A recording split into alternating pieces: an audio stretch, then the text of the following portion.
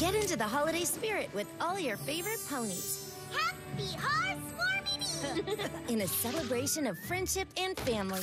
My very pony holidays. Every Friday in December at 4 p.m. Only on Discovery Family.